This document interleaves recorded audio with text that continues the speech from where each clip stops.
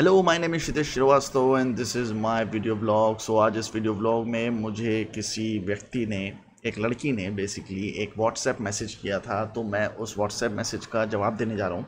And she has some very valid questions जो किसी के भी मन में आएँगे और मैं नॉर्मली डायरेक्टर्स की बात करता हूँ एक्टर्स की बात करता हूँ, पर एक्ट्रेसेस के बारे में मैंने ज़्यादा कुछ ज़्यादा नहीं बोला है। एक वीडियो बनाया था, वो भी किसी के इंसिस्टेंस पे बनाया था, किसी ने मुझे बोला था कि एक वीडियो बना दो तो मैंने बना दिया था।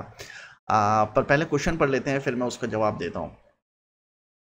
तो पहला क्वेश्चन है you have always mention in your videos that socialising is most important so how can one socialise specially for girls because at the end of the people turn the conversation towards having sex and also what is the smart way out? Okay so the thing is uh, कि जो भी मैं आपको बताने जा रहा हूँ, वो मेरे पर्सनल एक्सपीरियंसेस पे है और एक कॉन्वर्सेशन के ऊपर बेस्ड है, जो मेरा एक एक्ट्रेस के साथ हुआ था। और वो एक्ट्रेस से मेरी बहुत अच्छी दोस्ती थी और हम लोग बहुत टाइम साथ में बिताते थे मतलब एज अ फ्रेंड और उन्होंने काफ़ी पंद्रह साल फ़िल्मों में काम किया था और बहुत बड़ी बड़ी फ़िल्में की थी, बहुत बड़े बड़े डायरेक्टर के साथ प्रोड्यूसर्स के साथ काम किया हुआ था। तो मैं अक्सर उनसे बातें करता था तो she use to tell me her experiences and how she deals with all this kind of things तो सोशलाइजिंग का सबसे बड़ा जो लड़कियों के लिए प्रॉब्लम है वो मैं पहले भी वीडियोज़ में बता चुका हूँ वो ये है कि अगेन जैसा कि इसमें लिखा ही हुआ है ये कॉन्वर्सेशन हमेशा सेक्स की तरफ़ ही जाता है। और मैं आपको ये बताना चाहता हूँ कि दुनिया का ये भी सब कॉन्वर्सेशन जो उस लड़की के साथ हुआ था उस पर बेस्ड है जो मैं जो भी मैं एडवाइसेस देने वाला हूँ तो वो आ, ये है कि दुनिया के जितने भी मर्द होते हैं वो हमेशा सेक्स के बारे में सोचते हैं। So this is one truth that you cannot deny you are not going to meet people there who are not thinking about sex वहाँ पे वैसे लोग मिलेंगे ही मिलेंगे जो सेक्स के बारे में सोचने वाले। This is the truth of the life that you can not change every man thinks the same way so आप अगर उसको बदलना चाहते हो, अगर आप ऐसा सोच रहे हो कि आप ऐसी कहीं जगह पे जाओ जहाँ पे लोग आपको सेक्सुअली ना देखें या सेक्स की तरह, तरफ़ ना बात करें तो आप बहुत बड़ी गलत फहमी में हो, वहाँ ऐसा कुछ नहीं होने वाला। The world works this way तो उसको चेंज करना बहुत मुश्किल है। आप नहीं कर सकते चेंज तो चेंज करने की सोचो भी मत।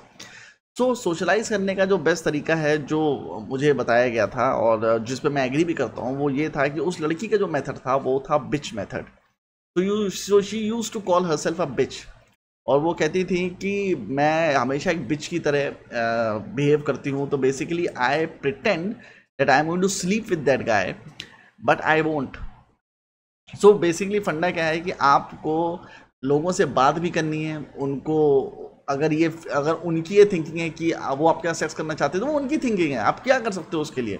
आप उसमें ना बढ़ावा दो, ना उसको काटने की कोशिश करो, क्योंकि आप काटने की कोशिश करोगे तो आपके कॉन्टैक्ट्स कटेंगे। अगर आप उसे बढ़ावा देने की कोशिश करोगे तो वो और ज़्यादा बढ़ने लगेंगे। तो आप उनको उतनी हिंट दो जितने की ज़रूरत है और समय आने पर काट दो। तो इसके लिए आपका जो मेंटल स्ट्रेंथ है, वो बहुत स्ट्रांग होना चाहिए। या आपको पता है कि कब चीज़ों को रोकना है? लाइक एक बंदा आपसे बात कर रहा है, बात कर रहा है, बात कर रहा है, आपको कॉफ़ी पे ले जाता है या खाना खिलाने के लिए कहीं पे पॉप टेट्स में लेके जाता है और सडनली आपके जांग पे हाथ रख देता है या कंधे पे हाथ रख देता है तो पलट के उसको थप्पड़ भी मारो या हाथ उठा के किनारे कर दो। तो वो लेवल भी होना चाहिए कि आपको पता होना चाहिए किस लेवल पर जाके मेरे को चीज़ों को रोकना है।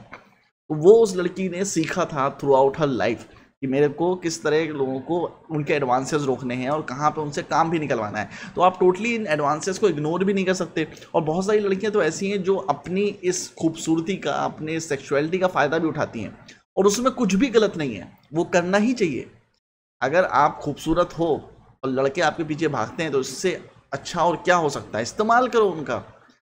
मोस्टली लड़कियाँ मॉरल्स और एथिक्स के पीछे पड़ जाती है कि नहीं नहीं, मैं किसी का इस्तेमाल नहीं करूँगी, नहीं नहीं, मैं ये नहीं करूँगी, नहीं, मैं वो नहीं करूँगा, अपने टैलेंट के दम पे जाऊँगी। और ये जो आइडिया है ना कि मैं अपने टैलेंट के दम पे जाऊँगा, अगर ये अंबानी का बेटा सोचता तो वो कभी मुकेश अंबानी नहीं बन पाता। वो सोचता, नहीं पापा, मैं तो अपने टैलेंट के दम पे जाऊँगा, मुझे आपका एम्पायर नहीं चाहिए, मैं बेसिक से स्टार्ट करूँगा। Now that is the most stupid and foolish thought कि मैं अपने टैलेंट के दम पे जाऊँगा। अगर आपको एक अपॉर्चुनिटी मिल रही है तो उस अपॉर्चुनिटी को अवेल करो, उस अपॉर्चुनिटी का फ़ायदा उठाओ। बजाय इसके कि अपने उस ईगो में कि नहीं, मैं तो अपने से करूँगा चीज़ें। नहीं, आपके पास जो आपकी पावर्स हैं, उनका इस्तेमाल करो। तो सोशलाइज करने का बेस्ट तरीका ये है talk to as many people as possible जो कि लड़कों के लिए भी एप्लीकेबल है। Message to as many people as possible when you see sexual advances just be very अपने कान खड़े कर लो कि अब मुझे इससे कैसे डील करना है। और डील करने का तरीका यही है कि अगर वो आपके लिए कुछ ऐसी थिंकिंग रखता है या फ्लर्ट करने की कोशिश कर रहा है तो करने दो। क्या फ़र्क पड़ता है? जब तक सेक्सुअल फ़िज़िकल एडवांसेस नहीं करता है, तब तक उसको करने दो। जैसे ही वो फ़िज़िकल एडवांसेस करता है तो उसको काटना शुरू करो और काटो भी इस तरह से कि रिलेशन ना ख़राब हो। क्योंकि वो सब लोग करेंगे वहाँ पे। मतलब मैं बड़ी बड़ी फ़िल्मों की शूट पे गया हूँ, हर जगह गया हूँ बड़े बड़े डायरेक्टर्स एक्ट्रेसेस के साथ फ्लर्ट करते रहते हैं। और ऐसा नहीं कि एक्ट्रेसेस नहीं करती हैं, ये वन वे स्ट्रीट नहीं है। बहुत सारी एक्ट्रेसेस मैंने देखी हैं जो डायरेक्टर के साथ फ्लर्ट करती हैं। जो रैपअप होने के बाद अपने बाल खोल के डायरेक्टर के सामने हंस हंस के उससे बातें कर रही हैं और मैं हैरान होकर देख रहा हूँ कि इसको क्या हो गया। अभी तो शूट पे सही थी, एकदम से वैनिटी वैन से निकली और सडनली पागल हो गई लड़की। बट ये भी करते हैं, ये सारे लोग करते हैं, अपने अपने पावर का इस्तेमाल करते हैं। तो मैं आपको ये सजेस्ट करूँगा कि जो जो दुनिया की सच्चाई है कि मर्द इसी तरीके के हैं, लड़कियाँ इसी तरीके की हैं और दुनिया इसी तरह चलती है तो उसको निगेट करने के बजाय उसके सॉल्यूशन ढूंढो कि मैं किस तरह लोगों से डील करूँ कि आ, मैं उनका इस्तेमाल कर सकूँ। बेसिकली घूम फिर के आपको लोगों का इस्तेमाल ही करना है। अगर आप वो, वो लोगों का इस्तेमाल करना है तो बहुत ही हार्श वर्ड आपको लगेगा सुनने में। बेसिकली अगर मैं उसको इस तरह से बोलूँ कि आपको ह्यूमन बिहेवियर समझना है और ह्यूमंस को ह्यूमन से इंटरेक्ट करना है और उसके थ्रू काम लेना है आपको तो आपको शायद बेटर लगेगा। बट एक्चुअली घूम फिर के फंडा वही है। उसको मैं क्रूड वे में बोलूँ या माइल्ड वे में बोलूँ मतलब उसका वही निकल के आता है कि आपको दूसरों का इस्तेमाल करना है and there is nothing wrong with that आपको सुनने में बहुत ख़राब लगेगा, क्योंकि दुनिया में ना बहुत सारी चीज़ें होती हैं जो सुनने में बहुत ख़राब लगती हैं, पर एक्चुअली जब आप उसे करते हो तो वो सही होती हैं। जैसे कि मतलब ऐसे बहुत डिफरेंस होता है करने में और सुनने में। लाइक सुनने में आपको ये अच्छा लगता है ना कि यार भिखारी को भीख दे दो और उसको सौ रुपये दे दो तो वो आप कितना अच्छा काम करो कितना नेक आदमी भिखारी की मदद कर रहा है। पर आप भिखारी को अगर सौ रुपये दे दोगे ना, अगले दिन वो वापस आ जाएगा आपसे सौ रुपये लेने के लिए। और पीछे पड़ जाएगा आपको कि, यार भाई, खाना खिला दो, मेरे आपको मतलब घर के पीछे चक्कर लगाने लगेगा। And then you will think यार, मैंने तो पढ़ा था कि अगर भिखारी की मदद करोगे तुम्हारे साथ अच्छा होगा, कुछ नहीं होता ऐसा अच्छा। तो ऐसी बहुत सारी चीज़ें जो सुनने में बहुत अच्छी लगती हैं, पर एक्चुअली वैसी होती नहीं है। अब जैसे आ, मैं एग्जांपल दे चुका हूँ कि डायरेक्टर के साथ स्पॉट बॉय खाना अलग अलग लगाया जाता है। अगर डायरेक्टर और स्पॉट बॉय साथ में खाना खाएँगे तो कल को स्पॉट बॉय डायरेक्टर के अंदर पे हाथ रख देगा। वो सुनने में अजीब लगता है कि यार ये बी सी ग्रेड के जो वर्कर्स हैं उनका खाना अलग क्यों लगता है? डायरेक्टर्स और एडीज़ का और डीओपी का खाना अलग क्यों लगता है? पर उसके बीच में कारण है ना ये दोनों इंटरमिंगल होने लगेंगे तो कल को उसके कंधे पे हाथ रख देगा। सो सुनने में जो चीज़ें बहुत ही इम्प्रैक्टिकल लगती हैं रियल लाइफ में प्रैक्टिकल होती हैं। ज़रूरी नहीं है सारी चीज़ें एथिक्स और मॉरल्स के हिसाब से ही चली और चलें और चलाया जाए उनको। आपको कहीं ना कहीं बिलियंस भी अपना दिमाग लगाना पड़ता है, अपने इंटेलेक्चुअल्स लगाने पड़ते हैं और सारी चीज़ें एक रूल पे नहीं चलती हैं कि आप सोचोगे मैं बहुत टैलेंटेड हूँ, मैं बहुत हार्ड वर्कर हूँ, मैं बहुत ये हूँ, मैं बहुत वो। भरे पड़े हैं मुंबई में, जो हार्ड वर्क करते हैं टैलेंटेड हैं, सब कुछ है आर्टिस्ट हैं। आप उठा के देख लो इंडियन आइडल देख लो आप, कोई भी ऐसा रियलिटी शो देख लो जिसमें बहुत ही टैलेंटेड लोग आते हैं, फिर क्या होता है उनका? सीज़न खत्म होता है, गायब हो जाते हैं। क्या फराह खान उनको कास्ट कर लेती है? क्या अभिनव सिन्हा उनको कास्ट कर लेता है? या जो जजेस आते हैं, जो डायरेक्टर होते हैं प्रोड्यूसर होते हैं, वो क्या करण जौहर ने को कास्ट किया आज तक? इतने सारे शोज़ वो रियलिटी शोज़ कर चुका है, जिसमें बहुत टैलेंटेड लोग सामने से उसके आए हैं। उनसे ज़्यादा टैलेंटेड हम से कौन है? बट क्या कभी उनको किसी ने कास्ट किया है? किसी ने नहीं। सिर्फ़ रेमो डिसूजा है जो कास्ट करता रहता है एक दो लोगों को बट बाकी इसके अलावा कौन है जो कास्ट करता है? So I would just like to say कि be practical as much practical as you can and don't be afraid of it don't be afraid of it कोई घंटा कुछ नहीं बिगाड़ सकता तुम्हारा। अगर तुमने डिसाइड कर लिया है कि मतलब मुझे दिस इज़ माई लिमिट और उसके बियॉन्ड मैं सामने लोग थप्पड़े मार दूँगा, कोई कुछ नहीं बिगाड़ सकता तुम्हारा।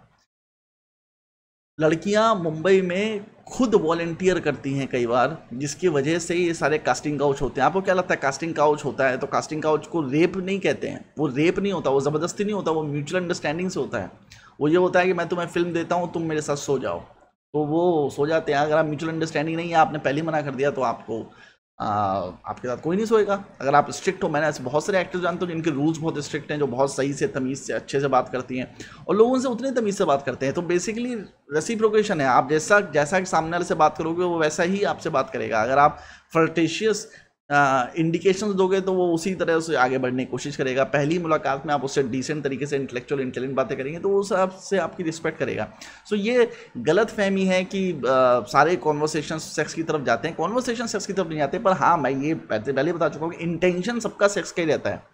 सारे लड़के सेक्स का नहीं भी रहेगा तो एटलीस्ट पटाने का रहेगा गर्लफ्रेंड बनाने का रहेगा। पर हर लड़का हर लड़की में पोटेंशियल गर्लफ्रेंड दिखता है। ये सच्चाई है, उसमें आप कुछ नहीं कर सकते। या अगर आपको नहीं देखता है, वो उस तरह से आपसे बात नहीं करता है तो या तो वो आपको खूबसूरत नहीं समझता है, या फिर आप में वो इंटरेस्टेड नहीं है किसी और वजह से, या फिर वो बहुत ज़्यादा कमिटेड है अपनी गर्लफ्रेंड को लेकर कोई भी ये कारण हो सकते हैं, पर अगर वो आप में इंटरेस्टेड नहीं है तो ये सब कारण हो सकते हैं, वरना हर लड़का लड़की की तरफ़ ऐसे ही देखता है। और ऐसी, और ये जीन्स हैं, इसमें वो कुछ कर नहीं सकता टेस्टोस्टोन है तो उसी तरह वो बिहेव करता है, अभी क्या करेगा उसके लिए? Second question Has the big actresses like Anushka Sharma, Kriti Sinon, who were not from this industry, have compromised in order to get first break? No I don't think so मुझे नहीं लगता अनुष्का शर्मा कृति सिनोन ने कुछ भी compromise किया है अपने first break के लिए और बेसिकली uh, एक बहुत कॉमन चीज़ है जो मुंबई में मैंने बहुत ज़्यादा देखी है और वो ये देखी है जो उसमें uh, बता भी चुका हूँ बहुत सारे ब्लॉग्स में वो ये है कि rich kids get easy access to the production house जो बच्चे जिनके पास ज़्यादा पैसे होते हैं, उनके लिए इजी एक्सेस होता है। भाई आप खुद सोचो कि अनुष्का शर्मा के पापा अमीर थे कृति सनन के पापा भी अमीर थे। अगर उनको मुंबई जाके स्ट्रगल करना है तो वो कुछ नहीं कहेंगे। वो कहेंगे, बेटा, एक काम करो, मैं तुम्हें कमरा रेंट पे दिला देता हूँ, जिसका रेंट होगा चालीस पचास हज़ार रुपये जो एक आम आदमी दे ही नहीं सकता, उसमें वो two B H K three B H K में रह रहे हैं और आराम से स्ट्रगल कर रहे हैं। तो ऐसे में आपको एक मेंटल पीस होता है। और आप उसमें अच्छे से स्ट्रगल कर पाते हो और आपको आसानी से चीज़ें मिल जाती हैं। जब आपके पास पैसे होते हैं तो आप जब बहुत सारी जगह पे रजिस्टर कर सकते हो, जहाँ पे नॉर्मल आदमी नहीं कर सकता।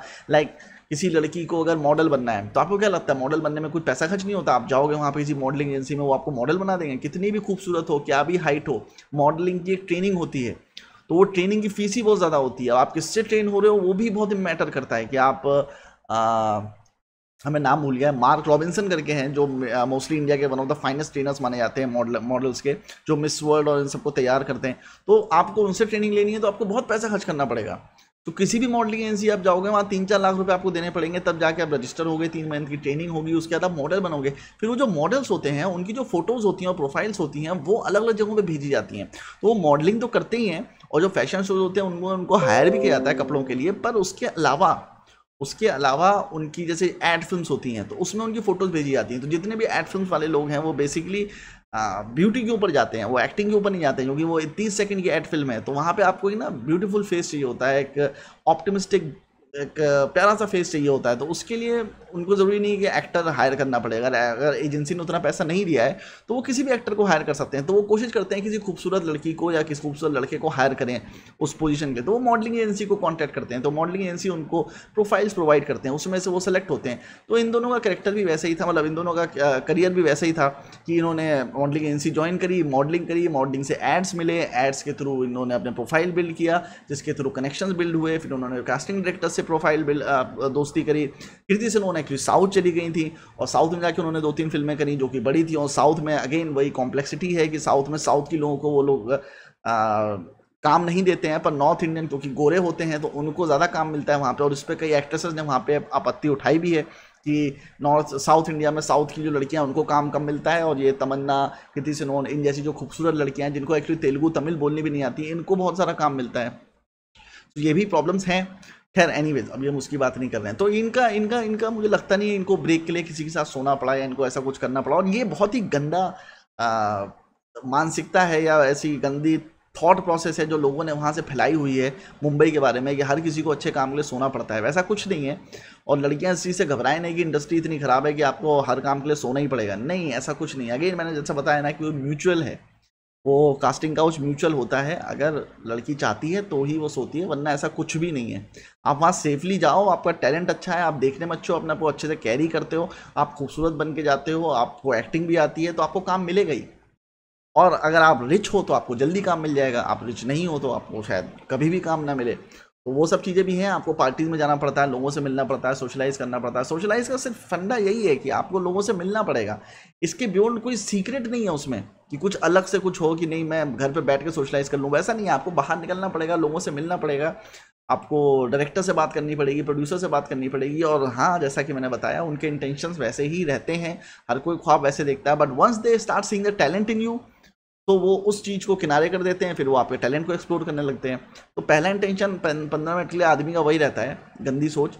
और उसके बाद वो आपका टैलेंट देखने लगते हैं तो अब आप किस चीज़ को ऊपर करते हो वो डिपेंड करता है। अगर आपने अच्छा टैलेंट दिखा दिया तो मेरे ख्याल से बाकी चीज़ों को पीछे करके सिर्फ़ आपके टैलेंट पर ध्यान देंगे। सो so, तीसरा क्वेश्चन देखते हैं how much talent matters and how much socialising does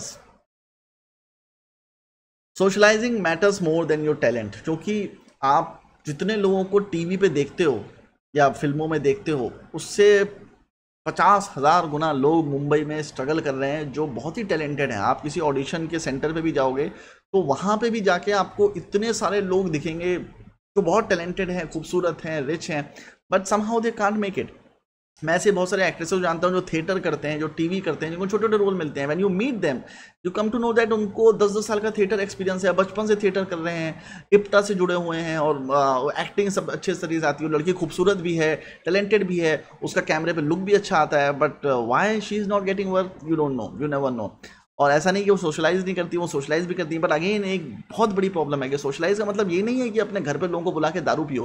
वो लोग ये भी करते हैं कि मतलब घर पे लोगों को बुला लिया हाउस पार्टी कर रहे हैं, घर पे लोगों को बुला के दारू पी रहे हैं, ये कर रहे हैं, वो कर रहे हैं। That is the most stupid kind of socialising that you can do आप अपना पैसा भी वेस्ट करते हो टाइम भी वेस्ट करते हो, दारू भी वेस्ट करते हो और कुछ निकल के नहीं आता। सोशलाइजिंग मतलब आप बाहर जाओ, बाहर जाके लोगों से मिलो। उसका मतलब ये नहीं कि दारू पीनी है सिगरेट पीनी है सबके साथ।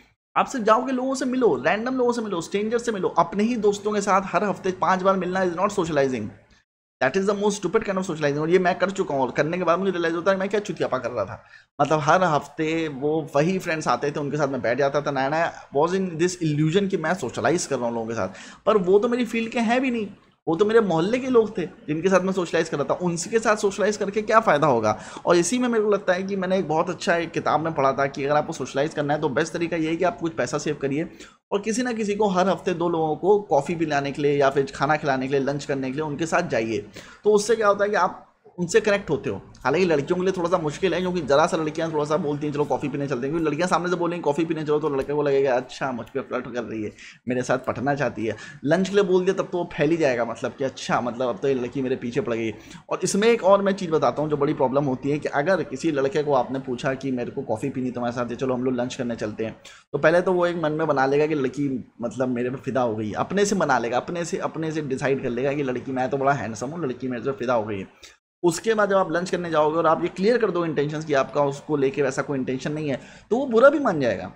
और उससे गंदी बात क्या है कि वो आपके बारे में बैक बिचिंग करने लगेगा। वो लड़के बहुत करते हैं मतलब लड़के जो होते हैं ना, प्यार में गिरे हुए, जब उनका प्यार टूटता है, उनका भ्रम टूटता है कि लड़की एक्चुअली उनके बारे में वैसा नहीं सोचती जैसा वो एक्सपेक्ट कर रहे हैं कि उन्हें सोचना चाहिए तो वो फिर बैक बिचिंग करने लगते हैं और फिर वो गंदी गंदी बातें करने लगते हैं मतलब कि वो लड़की ऐसी है वो लड़की किसी के साथ भी सोती है। तो ऐसा बहुत जानने वाले हैं मेरे भी, जो हर लड़की के बारे में ये बोलते अरे यार, वो तो किसी के साथ भी सो जाती है, अरे वो तो किसी के साथ भी घूमती है। अगर थोड़ा थोड़ा लड़की ज़्यादा सोशलाइज कर रही है, थोड़ा लड़की किसी से ज़्यादा मिल रही है, तुरंत उसके बारे में फ़ेमस हो जाता है कि वो इसके साथ सो रही है उसके साथ सो रही है। बट अगेन अगर आप इस फ़ील्ड में आए हो तो आप सोनम कपूर, करीना कपूर बनना चाहते हो तो उनके बारे में कितनी गंदी गंदी बातें बोली जाती हैं, पर उनको फ़र्क नहीं पड़ता। लोग हर किसी के बारे में गंदी गंदी बातें बोलते हैं। अमिताभ बच्चन के बारे में बोलते हैं कि वो रेखा के साथ सोता था, जय बच्चन के साथ ये है, घर पे ऐश्वर उसका तो मैंने कहीं पढ़ा था कि ऐश्वर्य राय के साथ चक्कर चल रहा है, घर में ऐश्वर्य राय के साथ सोता है वो। ऐसी ऐसी बातें लोग बोलते हैं। मतलब इसका कोई सेंस नहीं है, ऐसा कोई लॉजिक नहीं है, कुछ उनको पता नहीं है, बस बोलना है, क्योंकि निगेटिविटी है।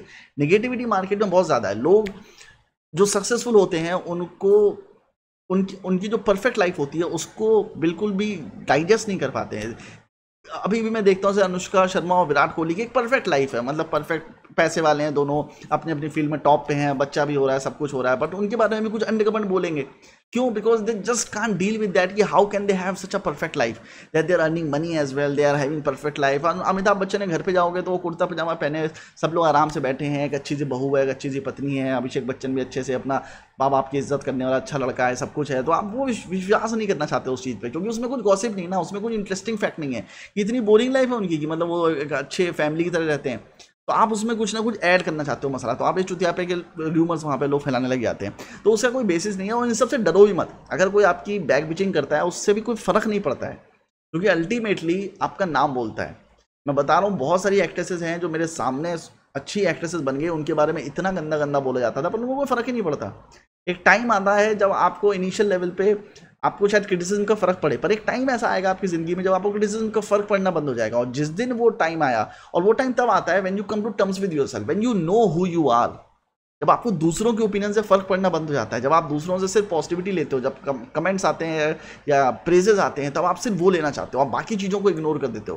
तो वो जब लेवल आता है when you come to terms with yourself then you become more successful तो वो लेवल अचीव करना बहुत ज़रूरी है, जब आप जब आपको इन सब चीज़ों से फ़र्क पड़ना बंद हो जाता है कि लोग आपके बारे में क्या सोचेंगे you just move towards your fucking goal आपके पास एक गोल है कि मुझे एक्ट्रेस बनना है, मुझे सक्सेसफुल होना है and then you do everything not everything मतलब ये नहीं करना है पर do everything within your talent within your hard work to to achieve to go there Kangana Ranaut ही बनी ना I can not assure you कि कंगना राणावत किसी का सो ही नहीं है, ऐसा किया, वैसा नहीं किया बिकॉज़ हर स्टोरी इज़ अनबिलीवेबल कि कॉफ़ी शॉप में किसी ने उसको देखा और उसको कास्ट कर लिया. दैट आई डोंट बिलीव और and she said in interview कि जब वो मुंबई आई, साल भर में उसे काम मिलने लगा और उसके बाद उसे साउथ की बहुत बड़े स्टार के साथ फ़िल्म मिल गई. दैट इज़ अनबिलीवेबल वो बिलीवेबल नहीं है और उसे गैंगस्टर मिल गई महेश भट्ट की फ़िल्म। तो ये सारी चीज़ें अनबिलीवेबल टाइप की विश्वास नहीं होता, पर हो भी सकता है because world is a weird place it's not run by a certain rules and regulation की ऐसा होता ही है। कि अगर ऐसा हुआ है तो ऐसा ही होगा। हो सकता है उसकी किस्मत अच्छी हो, उसको चीज़ें मिल गई हो। लक बहुत बड़ा फैक्टर है मुंबई में तो ऐसा नहीं कह सकते, बहुत लोग मुंबई में बोलते हैं कि नहीं, कंगना रनावत तो बहुत लोगों के साथ सोई है। तो ज़बरदस्ती उसके बारे में आपको जब कुछ नहीं पता है तो आप उसको उसको ईजिली चीज़ें मिल गई हैं तो आपको लगता है कि वो बहुत लोगों के साथ सोई है। ऐसा हो सकता है कि उसके सिर्फ़ टैलेंट अच्छा हो, कोई एक चीज़ देखी हो किसी बंदे ने उसके अंदर और उसको कास्ट कर लिया हो।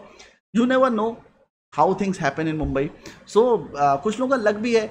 अब हज़ारों फ़ोटो आदित्य चोपड़ा के पास गई होंगी, उसमें से उसने अनुष्का शर्मा को सेलेक्ट किया।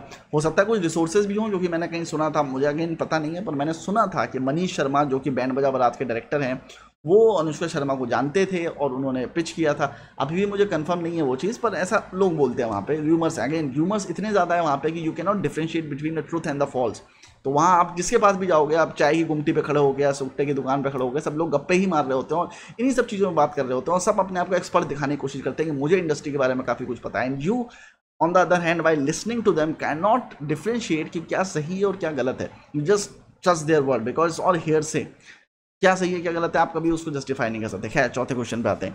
If a girl is beautiful but not a very good actor and she gets into the good books of the casting director of the producer will she get the role and will she be able to sustain that Yes, Kathina Kaif, one of the biggest example. If she's beautiful but not a very good actor, she gets into the good books of the casting director of the producer. Will she get the role? Of course, she's going to get the role. Ananya Panday को कैसे मिला काम क्योंकि उसके पापा connected हैं अच्छे से तो connections matter more than everything else आपके कनेक्शंस क्या हैं उससे आपकी एक्टिंग का और इवन आप खूबसूरत भी नहीं है तो डजेंट मैटर प्रतीक बब्बर को अभी तक काम मिल रहा है उसको एक्टिंग भी नहीं आती उसे कुछ भी नहीं आता वो सेट पर बदतमीजी भी करता है कई बार सेट से भाग जाता है बहुत ही अनप्रोफेशनल है, बहुत कहानियाँ हैं मुंबई में उसके बारे में, फिर भी उसको काम मिल रहा है। क्यों? क्योंकि वो स्मिता पाटिल का बेटा है और आमिर खान उसको प्रमोट करता है हेल्प करता है कि, यार, चलो, उसकी मम्मी नहीं है तो मैं उसको हेल्प करता हूँ करके।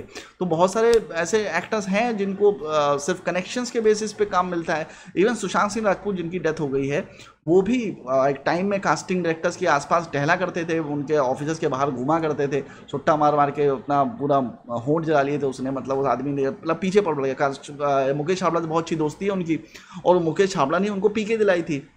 पीके में जरा सा रोल दिलाया था because he was helping him so so, वैसे ही आप अगर कास्टिंग डायरेक्टर के अच्छे दोस्त हैं तो आपको काम मिलेगा। मेरे खुद के एक डायरेक्टर फ्रेंड हैं जिन्होंने डायरेक्ट किया पर डायरेक्शन में उनका कुछ चल नहीं पाया। पर वो एक्टर थे और बहुत पहले एक्टिंग करते थे हालाँकि बहुत अच्छे एक्टर नहीं थे। पर उन्होंने उनके कुछ कास्टिंग डायरेक्टर जानने वाले थे। तो उन्होंने उनसे फ़ोन किया और उनको कुछ एक्टिंग असाइनमेंट्स मिलने लगे और अब वो एक्टिंग करने लगे हैं। तो वो सब कॉन्टैक्ट के बेसिस पे हुआ है। और क्योंकि जो पहला ऐड उन्होंने किया था, वो, जो ऑडिशन दिया था, वो अच्छा गया भी नहीं था। उनको भी पता है, वो कास्टिंग वाले को पता था, पर कास्टिंग वाले ने उनका नाम भेजा था कि इनको लो ऐड अच्छा निकलेगा। तो कास्टिंग वाले के सजेशन में डायरेक्टर ने उनको ले लिया था, उनको काम मिलने लगा उसके बाद। तो that also happen that actually happens कि आपके कनेक्शंस कितने अच्छे हैं, उसके बेसिस पर सारी चीज़ें होती हैं। इसके अलावा चौथा नहीं, पाँचवा क्वेश्चन है what are the different methods and ways to build connections for an outsider there is no strict rule कि कैसे कॉन्टैक्ट्स बिल्डअप करेगा कोई भी आउटसाइडर इंडस्ट्री के अंदर। सिर्फ़ यही एक तरीका है कि आप जाओ, लोगों से मिलो और कांटेक्ट बनाओ। And it will happen over the time it won't happen in a day मतलब आप किसी से पाँच छः दस बार मिलते हो, तब जाके आपके कनेक्शन अच्छे बिल्डअप होते हैं, तब जाके वो आपको समझता है और आप उसको समझते हो।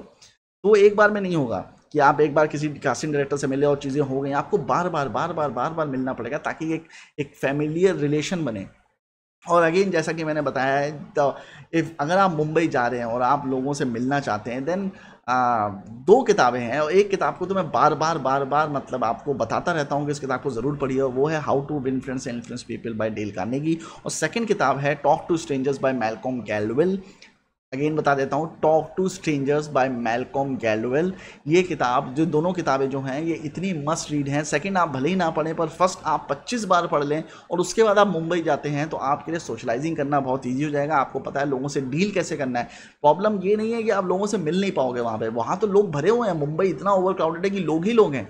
प्रॉब्लम ये है कि लोगों से मिलने के बाद आप उनसे डील कैसे करोगे वो आपको काम दे? तो वो आपको how to influence and influence people बताएगा और उस किताब को आप पढ़ो और उसका हिंदी वर्जन लोग व्यवहार करके है, जो अमेजन पे बहुत ईजिली अवेलेबल है, आप उसको खरीद सकते हो, पढ़ो, उसको रट डालो उस किताब को और उसके बाद मुंबई जाओ, कोई रोक नहीं पाएगा आपको। इवन वॉरेन बफेट और जो वुल्फ ऑफ़ वॉल स्ट्रीट का जो मेन बंदा जिस पर वो कहानी बेस्ड है नाम भूल गया मैं उसका।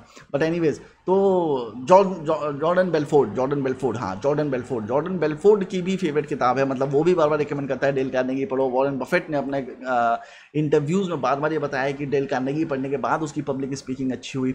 तो मेरे कहने का मतलब भी यही है कि अपनी पब्लिक स्पीकिंग अच्छी करो, लोगों से बात करने का तरीका, लोगों से डील कैसे करना है ह्यूमन साइकोलॉजी कैसे समझनी है, वो ज़्यादा इंपॉर्टेंट है। बाकी लोग तो वहाँ मिलेंगे ही, तुम ऑडिशन देने जाओगे, पच्चीस लोग मिलेंगे कास्टिंग डायरेक्टर मिलेगा, हर कोने मोहल्ले में ऑडिशन हो रहे हैं वहाँ पर पचास लोग मिलेंगे। हाँ कास्टिंग कोऑर्डिनेटर के पास मत जाना। कास्टिंग कोऑर्डिनेटर्स जो होते हैं, वो बेसिकली कमीशन लेते हैं और आपको रोल दिलाते हैं। तो वो बहुत सारा कमीशन लेते हैं और ज़्यादातर कास्टिंग डायरेक्टर्स जो होते हैं, वो बहुत ही ठरकी टाइप के लोग होते हैं। इसलिए कास्टिंग डायरेक्टर्स के पास जाना कास्टिंग कोऑर्डिनेटर्स के पास मत जाना। मैं एक बार ऐसे एक्सपेरिमेंट कर रहा था एक्टिंग में तो फिर मैं सोच रहा था लोगों से जाके मिलता हूँ करके। तो मैं कास्टिंग डायरेक्टर के पास गया वो भाई, वो आदमी ये निकला और उसने मेरे पर अटैक कर दिया। मैं किस तरह भागा वहाँ से?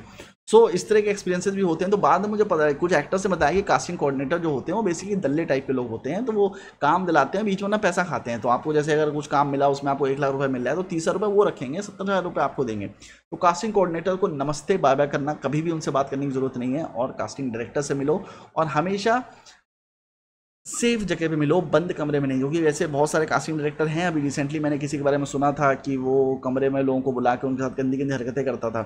और बहुत बड़ा कास्टिंग डायरेक्टर था वो। अभी मैं नाम नहीं लूँगा उसका बट बहुत बड़ा कास्टिंग डायरेक्टर था ऐसी ऐसी हरकतें करता था। तो never never ever go inside a room with any casting director और विद एनी वन कभी भी बंद कमरे में जाओ ही मत। अगर जाना है तो कमरे खुले होने चाहिए मतलब वो सब चीज़ें ध्यान रखो कि कहाँ पे आप बैठ रहे हो। हमेशा पब्लिक हो वहाँ पे। अकेले में किसी, कोई कास्टिंग डायरेक्टर बोलता है कि मैं तुमसे अकेले मिलना चाहता हूँ, मुझे तुम्हारे टैलेंट दिखता है। तो बहुत चुतियापे की बात कर रहा है, वो आपको फ्लट करने की कोशिश कर रहा है। तो ऐसे में अपने फ्रेंड को लेके जाओ, भले ही कास्टिंग डायरेक्टर आपसे बात करे या ना करे, काम दिलाए, चाहे ना दिलाए, सबसे पहले तो अपनी इज़्ज़त होती है भाई।